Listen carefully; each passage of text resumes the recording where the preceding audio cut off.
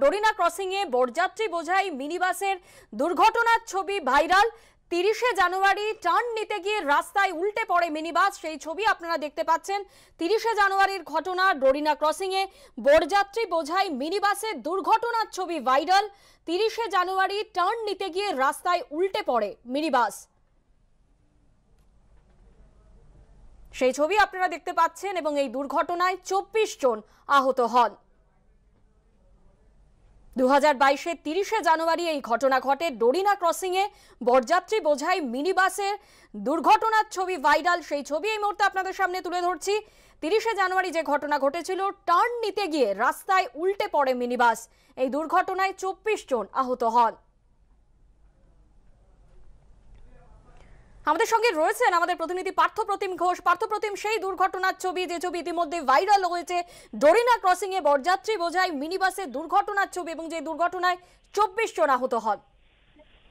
একেবারে দুপুরবেলা গত রবিবার দিনকে, তিরিশে জানুয়ারি, সেদিন কিন্তু একেবারে ডোরিনা ক্রসিং, যে জায়গায় কিন্তু এস এন ব্যানার্জি রোড সেখানে প্রচুর গাড়ি সেখান থেকে যাতায়াত করছিল। হঠাৎ করে দেখা যাচ্ছে যে ছবিতে যে একটি মিনি বাস সেটি আসছে এবং সেই মিনি বাসটি আসার সময় যে জায়গায় অর্থাৎ ডোরিনা ক্রসিং থেকে এস এন ব্যানার্জি রোড হয়ে যে জায়গায় টার্ন নেবে, তার একটু আগেই বাসটা কিন্তু হঠাৎ করে রাস্তার মধ্যে টার্ন নিতে গিয়ে টার্ন নেওয়ার একটু আগেই কিন্তু সম্পূর্ণভাবে উল্টে পড়ে যায়।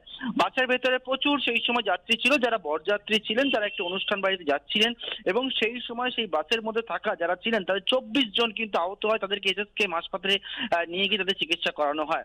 এবার প্রথম থেকে যে বিষয়টা তদন্তে উঠে আসছিল যে ছবি ইতিমধ্যে ভাইরাল হয় যে বাসের চালক যখন বাসটি নিয়ে আসছিল বাসের ফিটনেস নিয়ে কিন্তু একটা প্রশ্ন উঠছিল এবং দেখা যাচ্ছে ছবিতে বাসটি যখন আসছিল কার্যত কিন্তু হেলতে দুলতে আসছে বাসটি এবং সেই সময় আসার সময় কোনো রকম ভাবে ব্রেক কষা বা নিয়ন্ত্রণ যে প্রচণ্ড গতিতে এসে নিয়ন্ত্রণ হারিয়ে যে বাসটি পড়ে যাবার মতো পরিস্থিতি বা যান্ত্রিক কোনো ব্রেকের সমস্যা তেমন কিন্তু ধরা পড়েনি।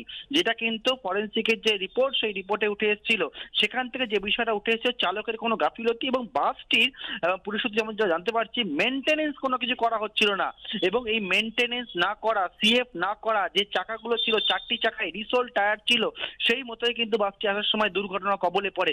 সম্পূর্ণ বাসটি উল্টে যাওয়া যে রকম ভাবে ভয়ঙ্কর ভাবে দুর্ঘটনাটি ঘটে, সেই ছবি কিন্তু এবিপি আনন্দের পর্দায় দর্শকরা বর্তমানে দেখতে পাচ্ছেন এবং রবিবার দিন দুপুর বেলা যে জায়গায় আরও বড় আকারে দুর্ঘটনা ঘটতে পারতো, কারণ যেহেতু রবিবার যে রাস্তার মধ্যে দুর্ঘটনাটি ঘটে, সেই রাস্তা অনেকটাই গাড়ি কম ছিল সেই জায়গায়। নাহলে অন্যান্য দিন হলে কিন্তু প্রচুর মানুষ সেখানে থাকে, প্রচুর গাড়ি সেখানে থাকে আরও কিন্তু ভয়ঙ্কর দুর্ঘটনাটি ঘটতে পারতো। কার্যত শিউর ওঠার মতো ছবি একটি বাসটি আসছে এবং আসতে গিয়ে কার্যত হেলতে দুলতে, আসতে গিয়ে গোটা মিনি বাসটি উল্টে পড়ে সেই ছবি কিন্তু ইতিমধ্যে ভাইরাল হয়েছে সোশ্যাল মিডিয়ায় স্বর্ণালী। ধন্যবাদ পার্থ। সত্য অন্তহীন। সত্যের খোঁজও তাই। সত্য সন্ধানে তাই আমরা অক্লান্ত অকুতভয়। এবিপি আনন্দ নতুন ভাবনার প্রতীক যা মনে মুক্ত তথ্যে যুক্ত এবং যাবতীয় সীমানার বাঁধন থেকে মুক্ত। সীমা না শব্দটির মধ্যে লুকিয়ে আছে মানা শব্দটি যেন চোখ রাঙানি এক অদৃশ্য বেড়াজাল যা আটকে রাখে আমাদের এক ছোট্ট গণ্ডির মধ্যে। একমাত্র সঠিক খবরই গড়ে তুলবে এক মুক্ত সমাজ। সেই জগৎ গড়ার লক্ষ্যে কোনো সীমানার ঠুকুটি আমরা মানব না। এবিপি আনন্দ, এগিয়ে থাকে, এগিয়ে রাখে।